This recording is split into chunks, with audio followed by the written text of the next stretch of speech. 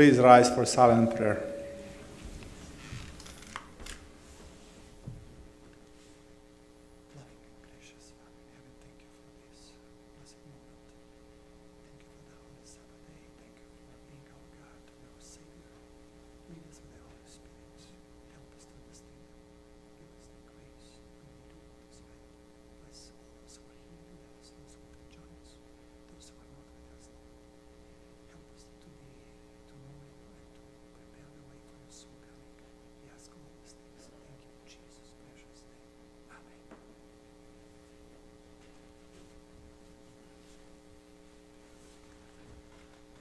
Blessed Sabbath. We'll open our uh, divine service with hymn number 26. Hymn number 26. We praise thee, O God.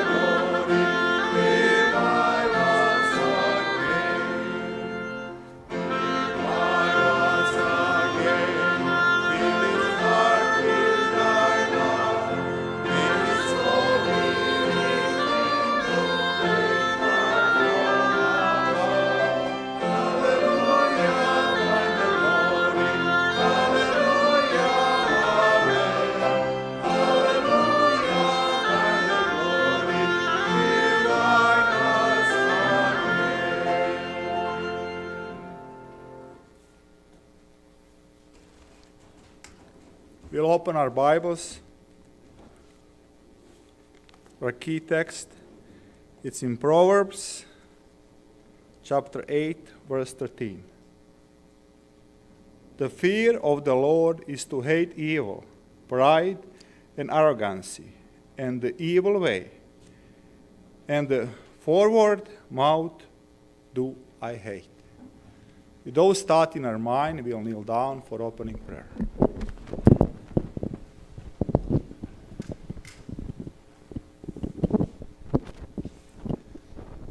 Heavenly merciful Father, we are thankful for this beautiful day.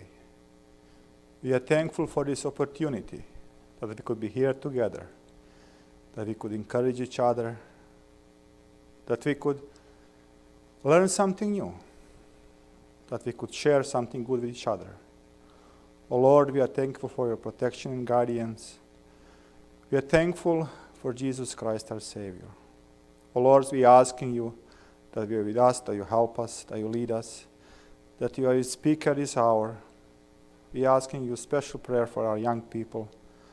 Please help them and lead them, because, like we study in the lessons, Satan knows he doesn't have much time, and he knows how important it is to Lord young heart.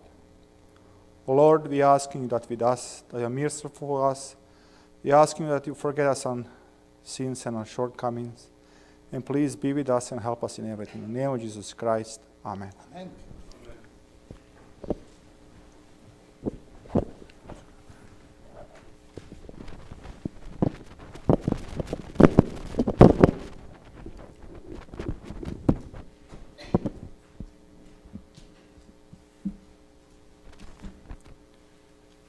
I'd like to welcome you all for this uh, divine service. Um, it is beautiful outside, and it is a beautiful opportunity to be inside too. Uh, we have few announcements for today. Uh, right after the lunch will be our, after divine service will be our uh, fellowship lunch, and we'll have uh, everybody is invited. We have our prayer meeting on every Tuesday evening at 7 p.m. Uh, today after the, the lunch will be orchestra practice and, and a choir practice. So who is involved, uh, who participate, please uh, after lunch will be practices. Uh, for next for next Sabbath, we'll have special offering. Uh, they building orphanage home in Kenya. So uh, for next Sabbath, we will collect offering to help with the building of that project. Uh, for next, uh, like week for tomorrow, June 16, uh, we'll have a business meeting here at the morning at uh, 10 a.m. in the church. And after the, the business meeting, we'll have a church cleaning before the conference. So please all members and, and friends and visitors who, who are willing to help, please come. Usually when we do work here, it, is nice together. We, we could uh, talk together, we could help each other. It's just such a pleasant atmosphere and such a nice experience. And we're planning some uh, activities for, uh, for our uh, young people, especially maybe more even for the boys. We try to build some picnic tables, so please, uh, if you if you like to help with that, please come and join us. Uh, we got um, kitchen for the kitchen announcements. You could uh, you could read through here. It's in the bulletin. Uh, more or less, we asking the people who are in the kitchen to not work in the kitchen during the divine service, and we asking everybody else to be patient after the divine service you don't have to run right away to the kitchen and ask for the food. We could talk a little bit together. We could spend time together. And when they will be ready, we could enjoy the lunch together. We have our conference. Uh, it's uh, two weeks from now, so please pray for it. It is special day. It's special opportunity, so please pray for it. And we have to prepare our hearts for it. And we have uh, announced about uh, carpet cleaning uh, replacement. And uh, it's very good news. We, we collected over 8,000, so it's, it's, it's good project, and, and uh, we're almost there. So almost there. So I uh, like to thank everybody who helped with that. And now we could invite our ushers, and we'll collect the divine service offering.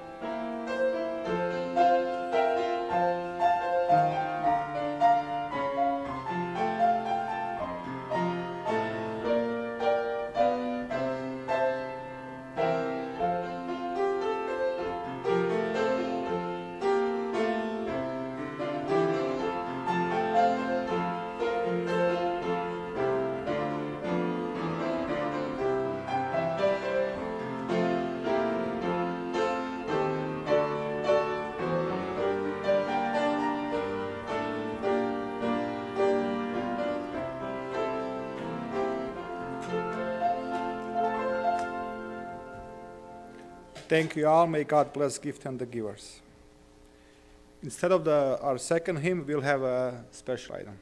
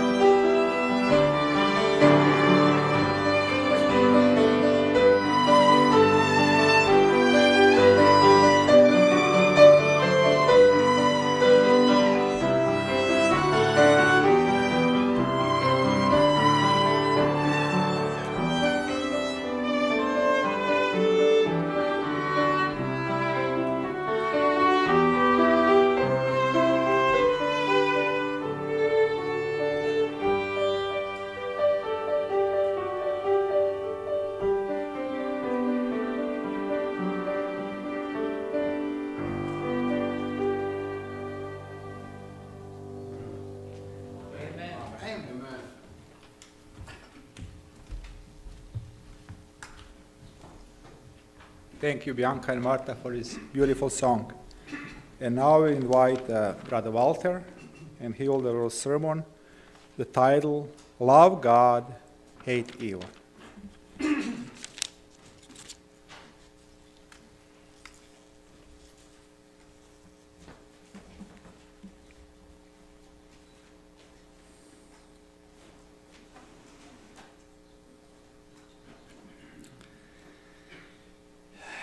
Dalibor mentioned love God, hate evil, and it's love good, hate evil, but there was no mistake because God and good is the same thing.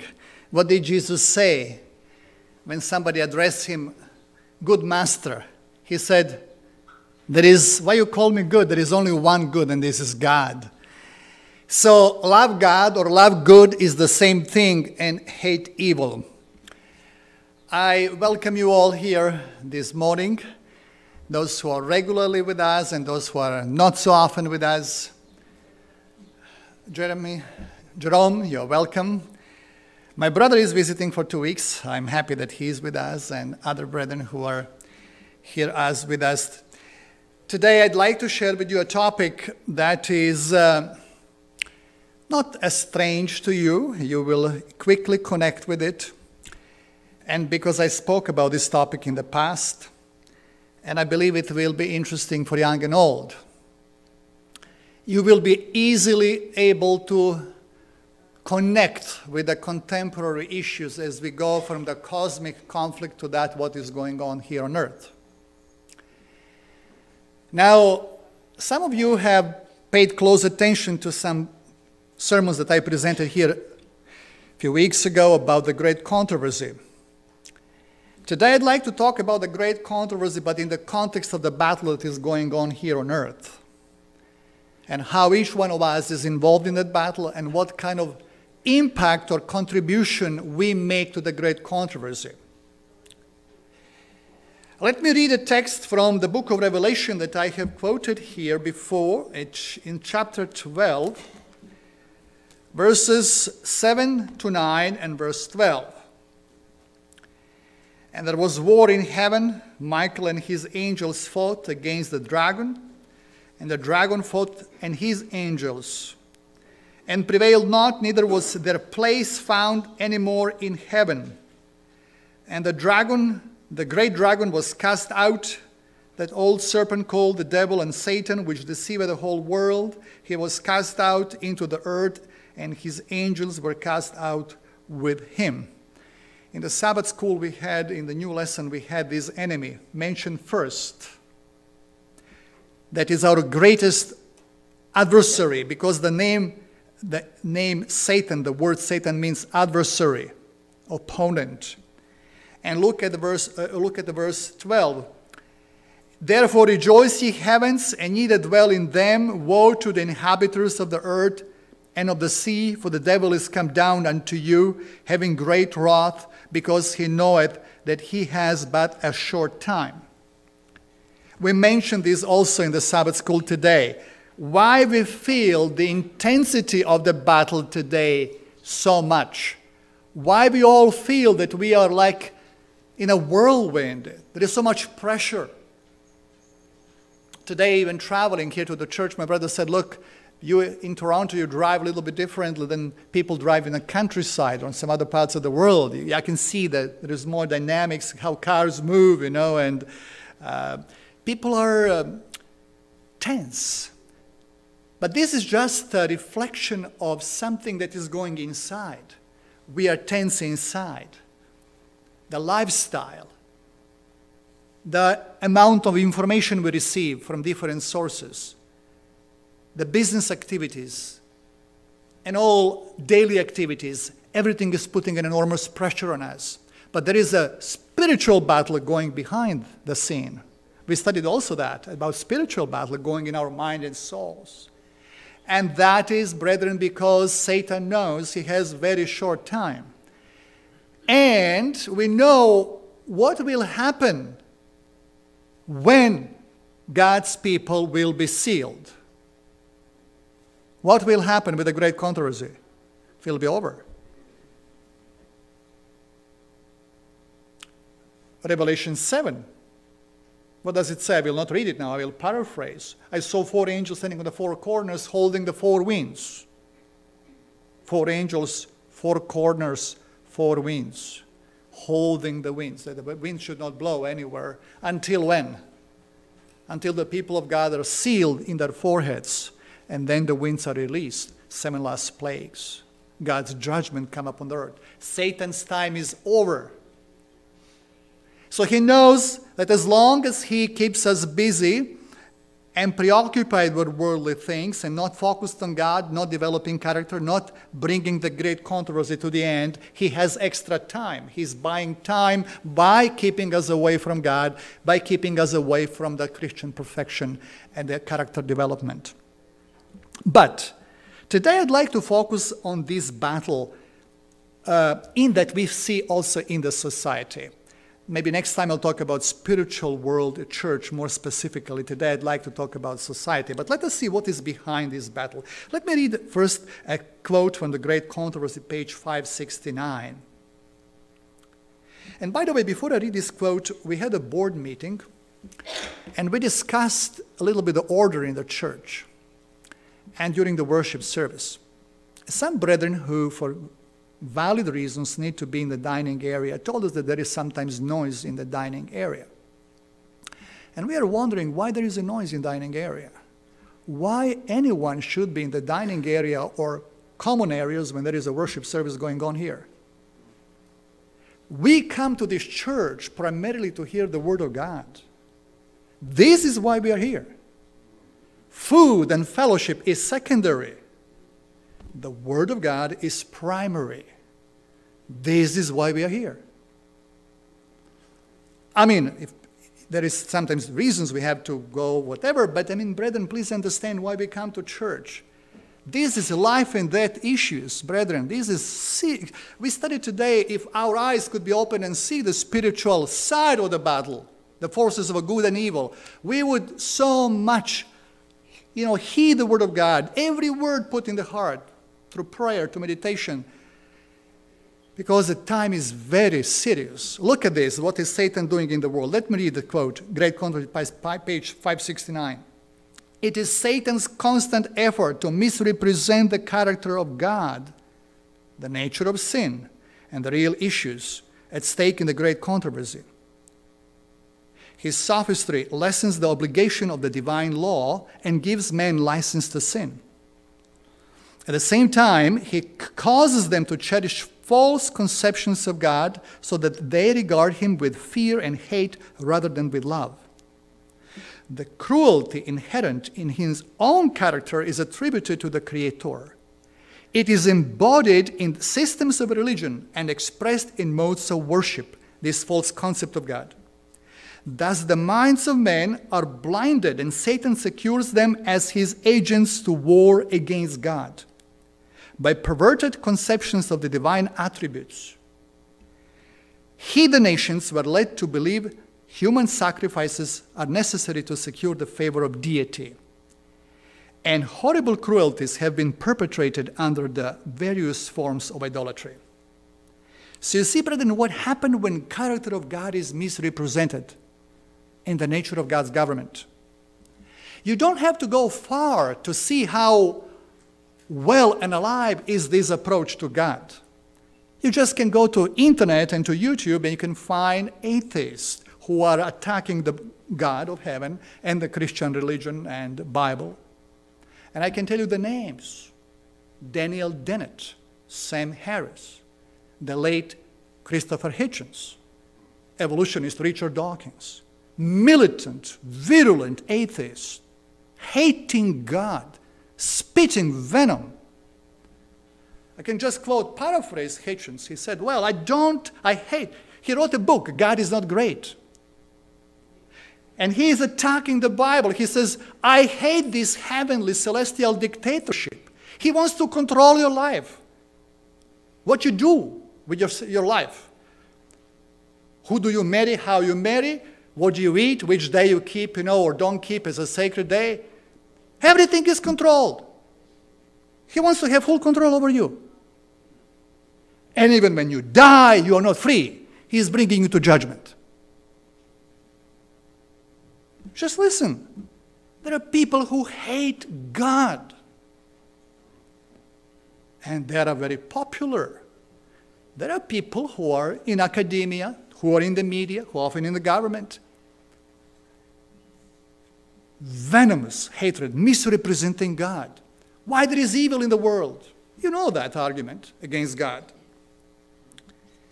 So here we are to defend God's government and to truly represent who God is. Satan attributes his characteristics to God. He's projecting his own evil attributes to God. And this is why people, so the world today has, there is a misapprehension of God's character. Now I read the next quote, Patriarchs and Prophets. You see, Sister White, by divine inspiration, she was shown that she knows exactly what's going on. Page 69. From the first, the great controversy had been upon the law of God. Satan had sought to prove that God was unjust, that his law was faulty, and that the good of the universe required to, it to be changed. In attacking the law, he aimed to overthrow the authority of its author. In the controversy, it was uh, to be shown that whether the divine statutes were defective and subject to change or perfect and immutable. Brothers and sisters, I can see more and more clearly that the law of God is in issue. You can go anywhere. People who are secular and humanist, they don't want to surrender to divine authority. I'm telling you, that's the problem. They don't want someone to be above them. Our reason is sufficient to tell us what is right and wrong. That's the argument. Unfortunately, some people even claim to be Christians who believe like that. Next one, Great Controversy 193. Counterfeit holiness, spurious sanctification is still doing its work of deception among the Christians. Under the various forms, it exhibits the same spirit in the days of Luther, diverting minds from the scriptures and leading men to follow their own feelings and impressions rather than to yield obedience to the law of God. This is one of Satan's most successful devices to cast reproach upon purity and truth. So, what are people doing? They're not going by the word of God and the law of God, but they're going by their own feelings. And I will speak about that today, going by heart. And you will see how it works. Next one, Desire of Ages, 761. Emotional religion, right? Excitement. In the opening of the great controversy, Satan had declared that the law of God could not be obeyed, that justice was inconsistent with mercy, and that should the law be broken, it would be impossible for the sinner to be pardoned. See? Law cannot be kept. This is what he claimed. And then when people or intelligent beings transgress the law, they cannot be pardoned. So God cannot be just, maintain justice, and still pardon the sinner. This is what he claims. Every sin must meet its punishment, urged Satan, and if God should remit the punishment of sin or forgive, he would not be a good God of truth and justice. These are the charges of Satan, uttered in the past and still valid, still pronounced. Now, how will God respond to the charges? God cannot use deceit and deception and lies and force. So God has to use different ways. How to clear his character, to vindicate his government. What will God do? What do you think? That's a good question. You see, I mentioned that that in my previous presentation, when Satan, Lucifer, laid charges against God and his government, he lied. And if somebody accuses you, lying against you, and telling that you are a liar, the only thing you cannot do, you cannot say, I'm not. If somebody tells you you're lying, you cannot say, I am not. You have to give other evidence that you are not. So God has to produce other evidence about his true nature and government. Patriarchs and Prophets, page 338. Now look, look at this, what God will do, how he responds. From the opening of the great controversy, it has been Satan's purpose to misrepresent God's character and to excite rebellion against his law. And this work appears to be crowned, his, crowned with success. The multitudes give ear to Satan's deceptions and set themselves against God. But amid the working of evil, God's purposes move steadily forward to their accomplishment. To all created intelligences, He is making manifest His justice and benevolence. So God has a plan, and God is making manifest His benevolence and His justice. Through Satan's temptations, the whole human race have been become transgressors of God's law, but by the sacrifice of his Son, a way is open whereby they may, be may return to God. Through the grace of Christ, they may be enabled to render obedience to the Father's law. Thus, in every age, from the midst of apostasy and rebellion, God gathers out a people that are true to Him, a people in whose heart is His law. So, what is God doing? Man has sinned, deserved death. But now God intervenes and makes a plan of salvation, plan of redemption, how men can be rescued. And that rescued man how has a duty or a role to manifest God's true character. You understand? That's the plan of salvation. We often think about plan of salvation just we being saved. But this is not the only, even the main purpose of plan of salvation. Plan of salvation to save the whole universe from evil. To save us, but to save other created beings, so that everyone can see that Satan is a liar and murderer, and that God is just and fair and true. And now, what God does, God creates a new, distinct order of creation. It's a mysterious word. I don't fully understand what Sister White meant, Spirit of Prophecy meant, when she said, when God created, created this world, earth, and human race, there was a special purpose in God's plan. Look at this statement, Review and Herald, February 11, 1902. All heaven took a deep and joyful interest in the creation of the world and of man. Human beings were a new and distinct order. I don't understand exactly what this means. Something profound. Whether because we can procreate or something else, or some development, which we'll see. Man has a potential to grow and to develop. They were made in the image of God, and it was the Creator's design that they should populate the earth. They were to live in close communion with heaven, receiving power from the source of all power. Upheld by God, they were to live sinless lives. Brethren, doesn't that fill your heart with joy and gratitude that we are made in God's image and God has an ama- amazing purpose for us when He created us? That's amazing revelation for me. There is a purpose why I live, why you live. That we reflect the image of God. And look in education, page 15. What, what is God's plan? When Adam came from the Creator's hand, he bore in his physical, mental, and spiritual nature a likeness of his Maker. Look, physical, mental, and spiritual. I don't want to anthrop- anthropomorphize God to make him like us, but there is something, something that we are similar to him in many ways. And it was his purpose that the longer man lived, the more fully he should reveal this image, the more fully reflect the glory of the Creator. All his faculties were capable of development. Their capacity and vigor were continually to increase. Vast was the scope offered for the, their exercise, glorious the field open to their research. The mysteries of the visible universe, the wondrous works of Him which is perfect in knowledge, invited man's study face to face, heart to heart communion with his Maker was his high privilege. Had he remained loyal to God, all this would have been his forever.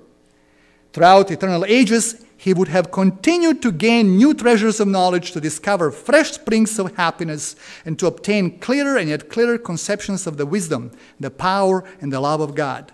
More and more fully would he have fulfilled the object of his creation more and more fully, have reflected the Creator's glory. That is fascinating. Opportunities for human beings. You know, we are not like Mormons. Mormons believe that man can become godlike. I mean, in terms semi God. We don't believe that. We will always be creatures, but with infinite potential for development.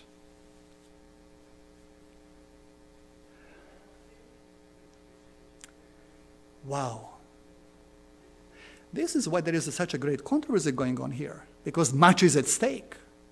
Much is at stake. The whole universe is watching what's going on here. I, I quote two Bible texts Isaiah 43, verse 7 and 10. Everyone who is called by my name, whom I have created for my glory, I have formed him, yes, I have made him.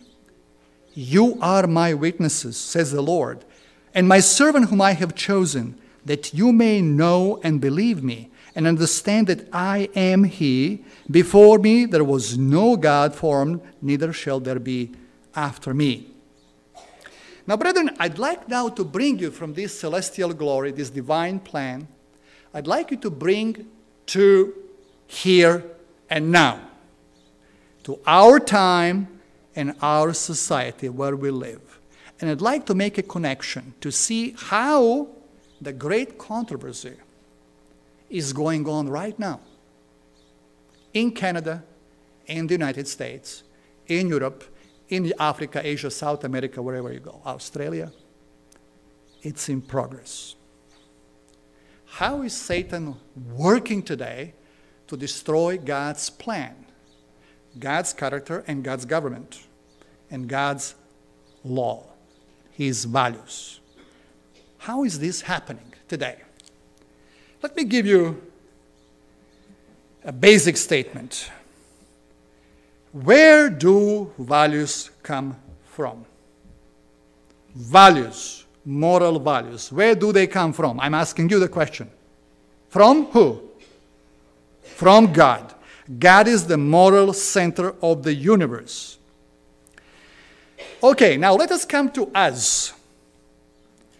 If you ask in a public forum people, general population of the society, the question, are the human beings basically good or evil, bad? What people would say? Uh, people will say, yeah, we are basically good. We are basically good. When you ask that question and get the answer, you immediately know if person who tells you people are basically good, you know these are secular humanist view, typically leftist view. And I will see what are the consequences of this view. Biblical Judeo-Christian view of man that man is a fallen being, basically bad. It's a very important distinction that we have to make. Now, we who come from Judeo Christian background, we may have our internal theological differences. But today I would like to talk about fundamentals, not about differences. Fundamentals, because the foundations of the society are today in question. Many people don't realize what's going on. This is extremely serious business, what's going on. So God, God gives us rights, not DNA, not biology. Rights come from God, from the Creator. Biology doesn't give you rights. Biology, evolutionary biologists believe, knows only for the blind forces. You know, random mutations, survival of the fittest, that's biology, how we are told. Now, I'll give you a moral test, which I have heard from other people who are going in public, who, who share our fundamental views and who are testing the public opinion. Now, they're giving a test to young people in going to the school and saying, look, in the, in the ocean, at the same time, a man is drowning and a dog is drow- drowning.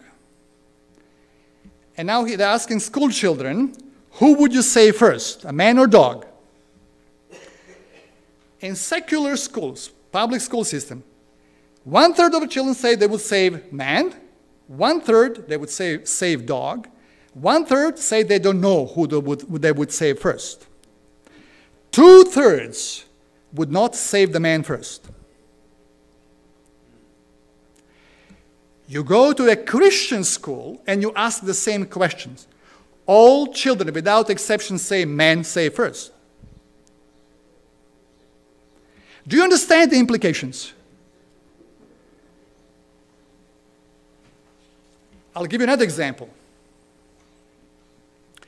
In San Francisco, the city council a few years ago was debating the issue whether to allow public nudity or not? And the vote was very close seven to eight. Just by one vote, they voted to prohibit public nudity. And do you know what reason, moral or ground they gave for to prohibit public nudity?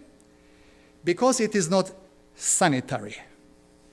If people sit on the bench, you know, naked and so on, so they have to carry a towel or something like that. Now I'm asking you the question what moral ground a secular humanist man can have against public nudity? None. What a Christian, people coming from Judeo Christian background, can say about that? What happened when Adam and Eve sinned? What happened? They were naked. What did God do with the man when he was naked? He covered him. Where do they get their morality? Brethren, this is disastrous. This is very scary where, where society is going. People are destroying the very foundations of morality. And please don't take me wrong, I'm not taking political side. I'm not talking about left or right politically. I'm talking about principles. Not everything what religious right is doing is right or left is doing is bad. But I'm talking about principles, moral principles. And I'll tell you two things that contributed very much to this um, enfeeblement of the mind in the Western you know, society and civilizations and the enfeebled moral intellectual decline of the West are first the television. Television was really having very destructive influence on people's mind, especially after the Second World War. You know, some people say, well, but there is something good in, in TV. And I admit, yeah, there are some good things. But you know, this argument is not fully valid. This is like you would argue about the person who raped three ladies and killed two people, and you know, there is something good in him. Of course, there was something good in Hitler and Stalin. But when you take totality, that is moral bankruptcy. Totality is moral bankruptcy. So you see, television had a very negative influence, spreading this worldview, humanist secular worldview, and immorality, destroying the moral fabric of the society. The second thing, you might be surprised, is a widespread college attendance. I have nothing against education, against colleges and universities, but we have a problem with the program offered at these secular colleges and universities. And I, will tell you why. I listened to one Jewish man who is a radio talk show host, and I will not mention his name. I don't want to give you know, particular, you know, um. I mean, not that I'm stealing thoughts. I will tell you privately, but not publicly. He said, I'm talking on the radio. And when people who call in say something very stupid, I ask them the question, which graduate school did you attend? And they respond, How did you, how do you know that I attended graduate school? You know, pleasantly surprised. He said, in answer to them, I mean, um, please, uh, I don't mean to insult you, but only a person who attended a graduate school can say something so stupid and foolish. Not that education is evil per se, but people are educated into imbecility their way of reasoning is completely false. And especially if they're coming you know, from liberal arts. The same author said, and I agree with him, my grandmother, who didn't finish the elementary school, knew more about men and women and their relations than people who have PhD in women's studies today. It's a shame how people think about, you know, gender and, and sex and all these things today. So, I'll give you one illustration. A young man is sitting at home at the family table and talking to his father, mother. And he is arguing about some moral values. And he says to his dad, Dad, but you did not, didn't go to college. You don't know. Now look at the paradox. Father is spending a lot of money to school his child, and the child is turning against him, you know, alienating his own son through education. Isn't that the paradox of the modern society? So, these two developments have been horrific. Modern liberal art, uh, in humanities in the West, is fully under control of godless, secular humanist gurus who have poisoned the minds of souls and souls of millions of young people. Now, I'm not telling you don't go to university or to college, but be aware of this. Be aware of this. Why is it that young people born, raised in good Christian homes go to college and they suddenly lose faith, like a killing field? What's happened? It's not by chance, because they're exposed to these devastating teachings of the modern society and culture. So, in a way, we can be pessimist because traditional West is losing. US is trailing the secular Western Europe by a generation. Western Europe almost completely lost. You go there, people don't go to churches anymore, and you know they don't talk about these Judeo-Christian values thrown through the window. Our duty as a church is to clarify the consequences of human moral choices or values. Biblical thought has consequences in real life. If you believe that people are basically good, then you don't blame the evil on the doer, but on the outside forces or circumstances. If you have a good machine, basically good machine, which is malfunctioning, so there must be something external to the machine that is causing it to malfunction, right? And evil comes naturally. So the question is, is this. But if we are not basically good and evil comes naturally, then evil will not surprise you, but the good would surprise you. Evil is, evil is pretty ubiquitous. What needs to be studied is goodness. Why Nazis kill, uh, killed the Jews doesn't surprise me. But why some Gentiles, non Jews, risk their own lives and the lives of their family members to save the members of a foreign group, this surprises me. Does it surprise you? Why people did good when everyone was doing bad? That's the question that we should ask today. So, and that Jewish man, he said, What I'm surprised when I ask my fellow Jewish people what they believe about human beings, he said, Oh, people are basically good. He said, He is coming, descendant of the people who were killed in Auschwitz, millions. And he says, Oh, people are basically good. See, tragedy, tragedy. Difficult to understand. So, why do not study, why we do not study goodness? Because we assume it is natural.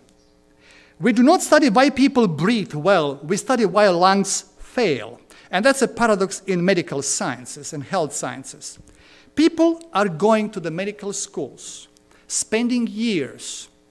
We just spoke last night how about how many years people spend you know, to complete the medical, to have a medical degree. You go to undergraduate school, then you go four years in a graduate school, medical school, then you have residency, almost 10 years.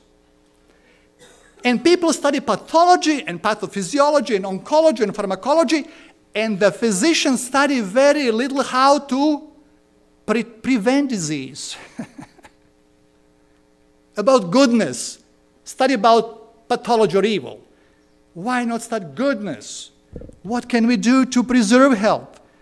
Thankfully, little by little, it's trickling in in their, in their you know, curriculum. So there are probably half a million books on evil. I don't know if there are a thousand books on good.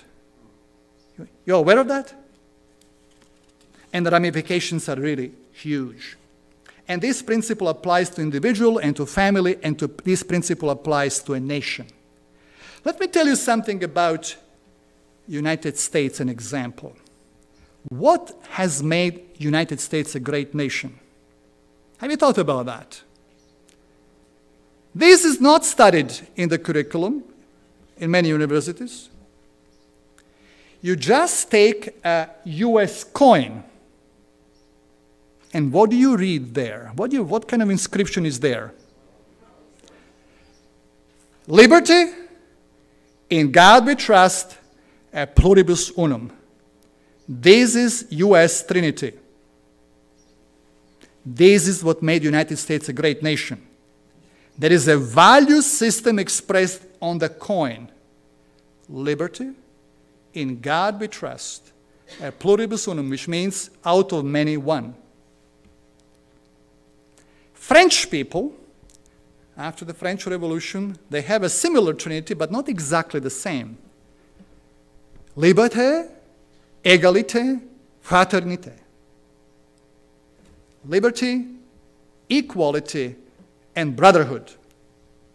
But you see, there is a little difference between equality, egalitarianism, and liberty.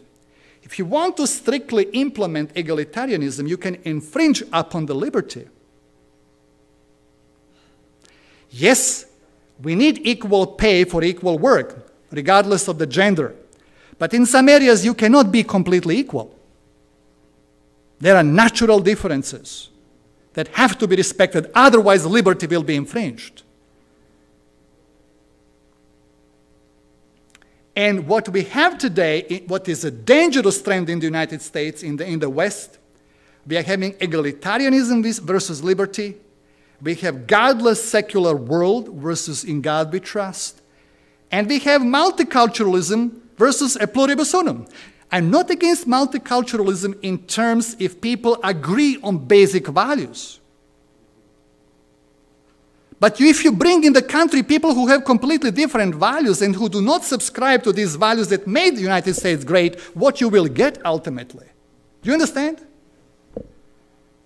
I'll just take one example Islam. Islam is basically not now attacking Islam as a religion, but one aspect of Islam is simply are theocratic societies. The government or the society is governed by Sharia law. There is no separation of church and state. You understand that? You go to some of these countries and see about human rights. So if people don't change the value system, they cannot integrate properly in this country which respects these foundations. I hope we agree on that.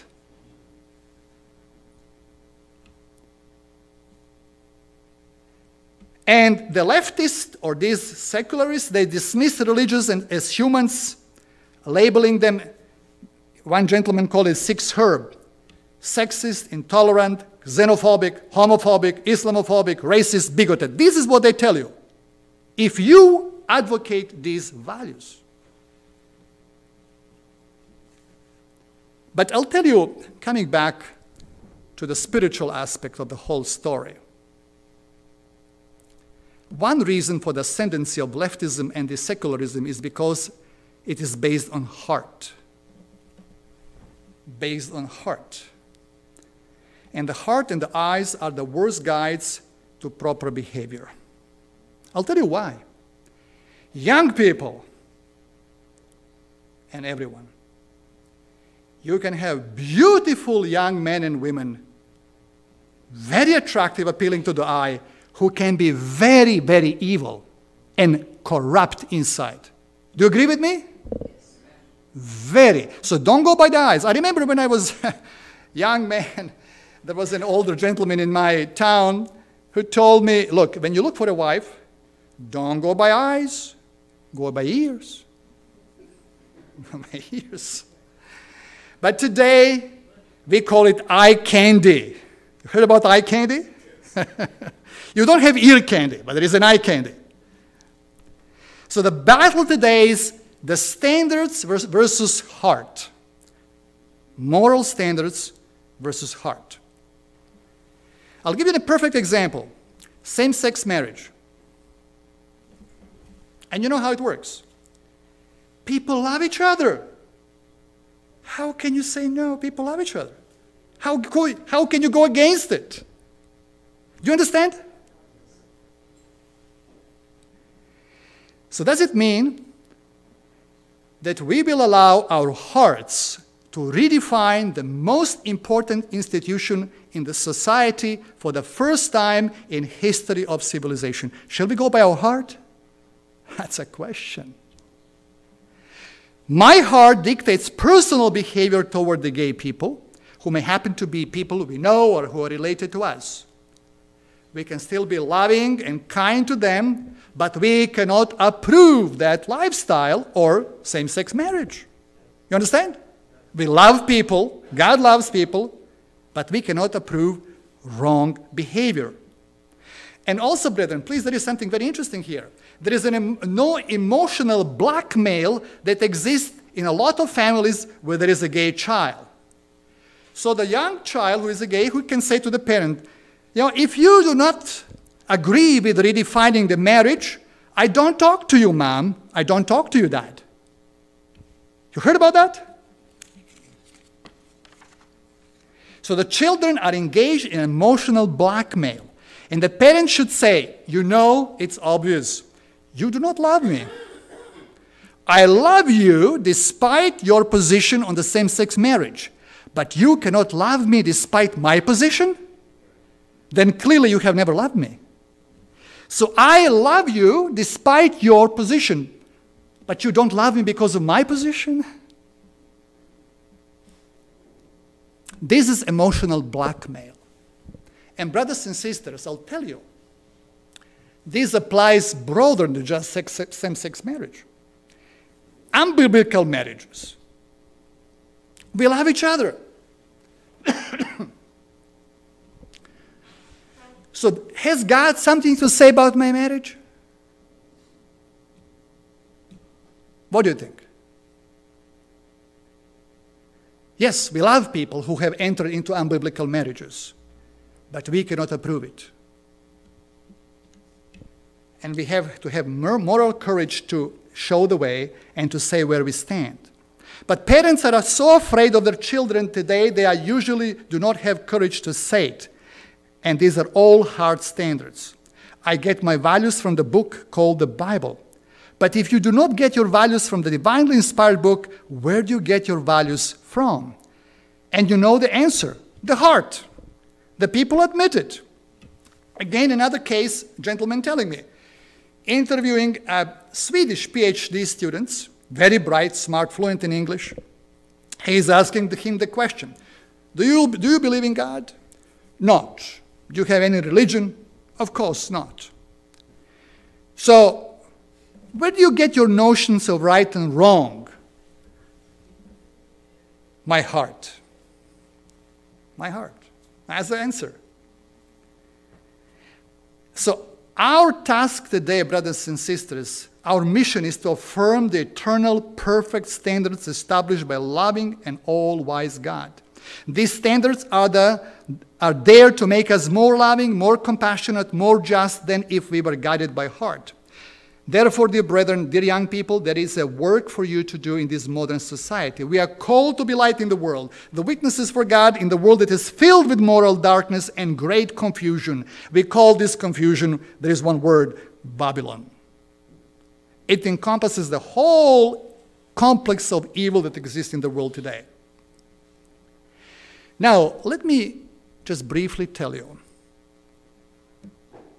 I take the Bible for moral guidance and for wisdom, and I'm not ashamed of that. If you go to secular universities and colleges, you will often hear, learn nothing about the Bible except that it is irrelevant, outdated, and frequently immoral.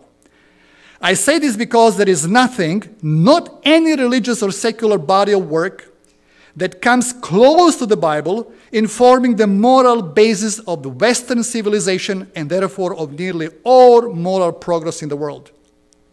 This is not now putting one race above, I'm talking about Judeo Christian religion, is superior to any other religion in the world without any question, any doubt. It was this book that guided every one of the founding fathers of the United States, including those described as deists. In, it is the book that formed the foundational values of every major American university. Harvard University, Yale University started as Christian schools founded by Christian men and women. It is the book from which every morally great American, from George Washington to Abraham Lincoln to Dr. Martin Luther King, got his values. Every great American got his values from the Bible. It is, the, this, it is this book that gave humanity the Ten Commandments, the greatest moral code ever devised. It not only codified the essential moral rules for society, it announced that the creator of the universe stands behind them, demands them, and judges humans' compliance with them. And I'm very grateful that Seventh day Adventists keep all the Ten Commandments in original format, all ten, including the fourth, which declares the Sabbath commandment who is the lawgiver, who is the creator. It gave humanity the great moral rule, rule, love your neighbor as yourself. It taught humanity the unprecedented and unparalleled concept that all human beings are created equal because all human beings of every race, ethnicity, nationality, and both male and female are created in God's image. That comes from the Bible. Fundamental human rights, brothers and sisters, are known only in the Judeo Christian religion. You don't have them anywhere else, and they come from the Bible. It taught people not to trust the human heart, but to be guided by moral law, even when the heart pulled in different direction. This is the book that taught humanity that human sacrifice is abomination. In ancient religions, you have human sacrifices everywhere South America, Africa, Asia. Judeo Christian religion has no human sacrifices. This is the book that desexualized God at first in human history. You go to ancient Greece, to ancient Rome, you're having, you know, male and female deities. In the Bible, God is desexualized. It is the book that alone launched humanity on the long road to abolish slavery. This is the Bible. I will not speak more on that. And it was the book that taught people the wisdom of Job and Ecclesiastes, unparalleled masterpieces of world literature, wisdom literature. Without this book, there would be, have no Western civilization, Western science, Western human rights, abolitionist movement, United States, the freest, most prosperous, opportunity giving society that was formed. And you know, in the spirit of prophecy, in great controversy, God blessed the United States because of these principles. We are concerned where the states are going right now. Now, brethren, I, I don't have to go. I mean, if you talk just the music, music, just take a music. If you go to Japan, you know which music is played there? Bach. Bach. The most famous collection of Bach's cantatas are issued by Masaaki Suzuki and are all sang by Japanese singers. Why? I'm taking my children to the piano classes, to a good piano teacher. I see Chinese moms bringing their children there, right? Playing classical music, Western, yeah? You agree with that? Not that Japanese don't have a good music of their own or other nations, even from where I'm coming from, whatsoever. But you see, the apex, the highest, produced a Judeo Christian religion. Greatest art, monotheism. There have been good people and bad people both in East and the West and South and North. I'm not saying that. Bad and good people have been. But when we talk about the good that was, was produced, we have not to be ashamed of the Bible. Bible has given to the society, human society, the greatest things that we have today. And let me just say one more thing. The framers of the United States Constitution, they were not stupid when they were making US Constitution, and they knew that Constitution alone as a legal act is not sufficient to protect United States forever prosperity and freedom and peace. Look what John Adams, the second president of the United States and the first vice president, together with John, um, George Washington, what he wrote. I quote We have no government armed with power capable of contending with human passions unbridled by morality and religion. What did he believe at human nature? He was thinking, he, he believed that human nature is bad. So we have no government armed with power capable of contending with human passions unbridled by morality and religion. Morality and religion have to, to restrain human passions. So, so they understood human nature. Avarice, ambition, revenge, or gallantry would break the strongest cords of our constitution as a whale goes through a net. Our constitution is designed only for a moral and religious people. It is wholly inadequate for any other. What do you say about this? I'm, amen.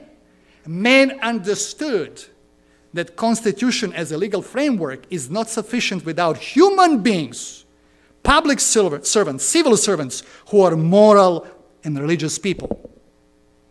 Because, and we see today what's happening in the US, unfortunately that elected representatives are not serving the people, but they are serving the lobbyists.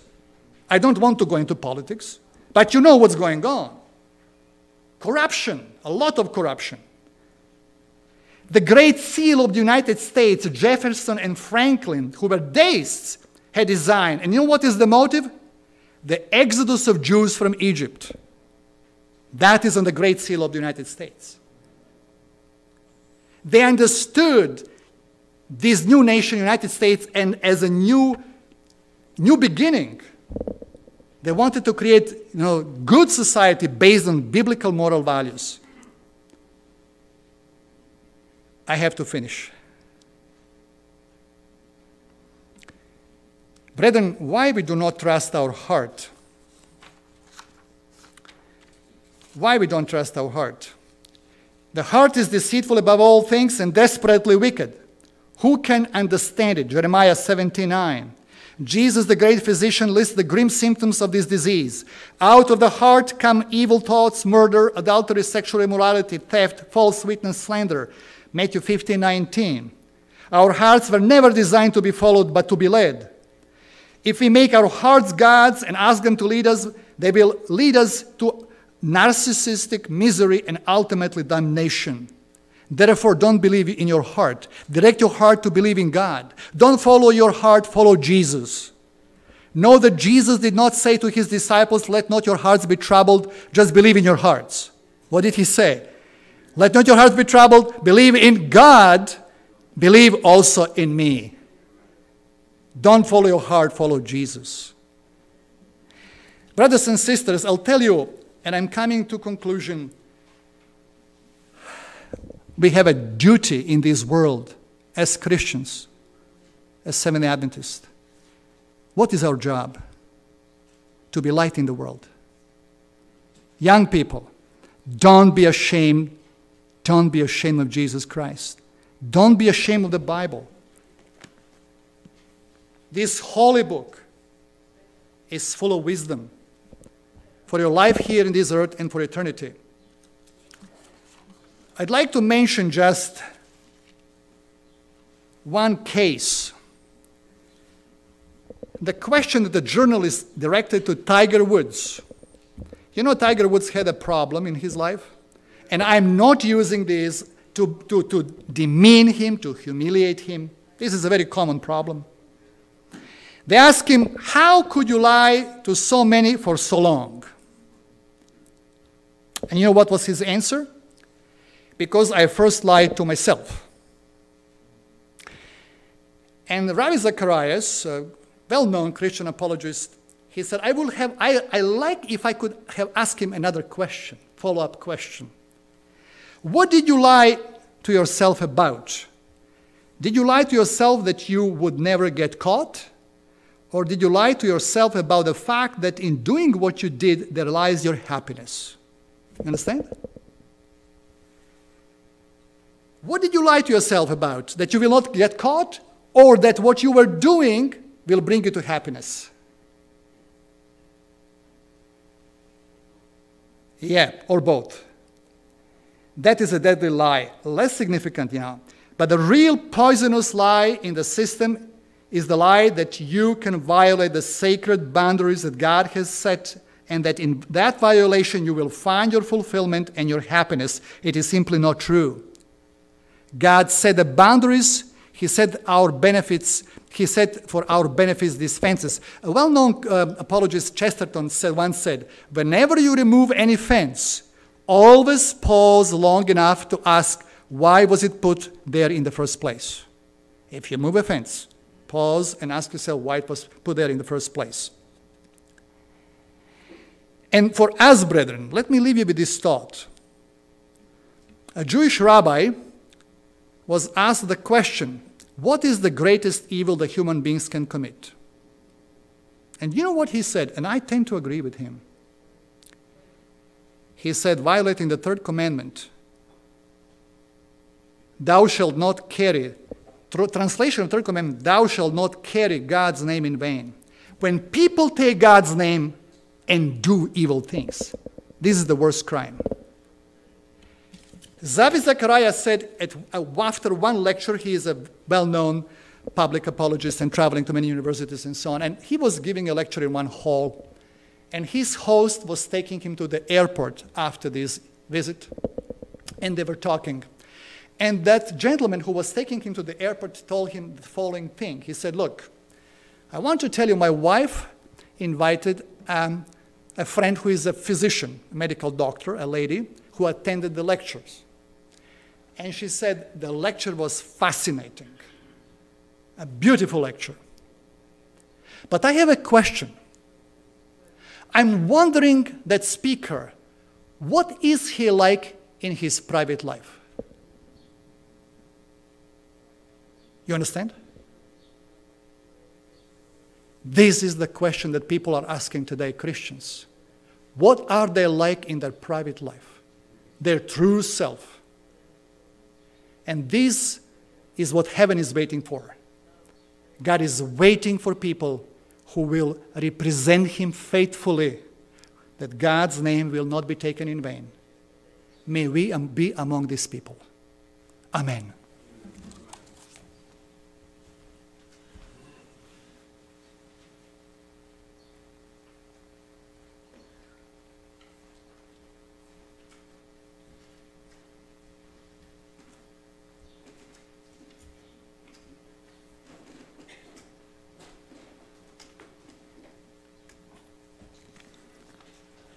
Thank you, Brother Walter, for this wonderful sermon. We have big privilege. We have Bible, and uh, we should really take advantage of that. Uh, in our closing, we will sing hymn number 381. 381. Please rise.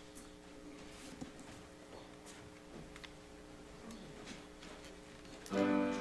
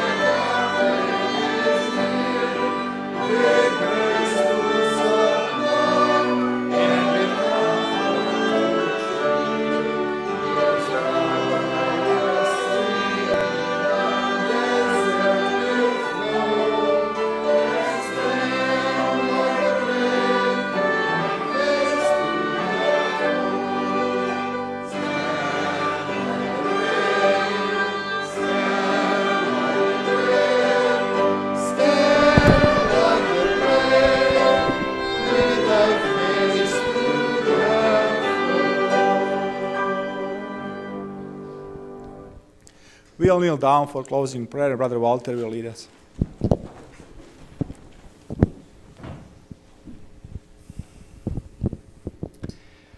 Loving and gracious Father in heaven, thank you. Thank you for creating us in your image. Thank you for giving us intellectual powers and moral abilities to know what is right and wrong. Thank you for saving us when we have fallen and sending your Son Jesus Christ to give his life that we would have another chance. Thank you for revealing yourself in the Holy Word and in the works of creation. Thank you for brothers and sisters and friends of our church who are assembled here and those who join us through internet. We thank you, Lord, for the fellowship. We thank you for the truth you have revealed to us and for the Holy Spirit.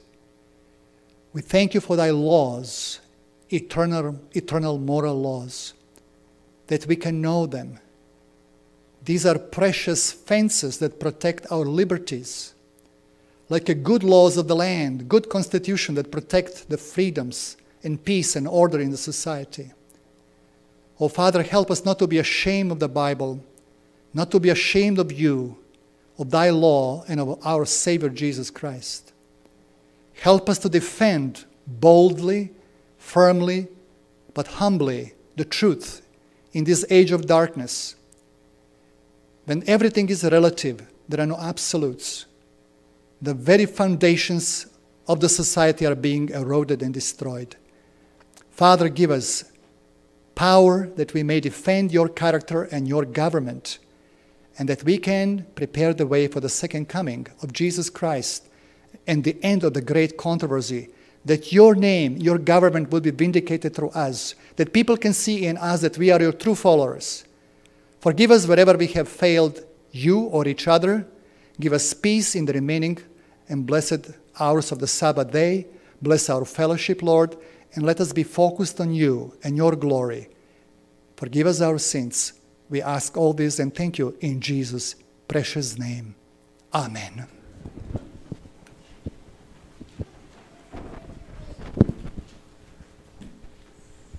We came to the end of our divine service. Uh, we'll be dismissed. Uh, we'll go downstairs and we'll have fellowship lunch.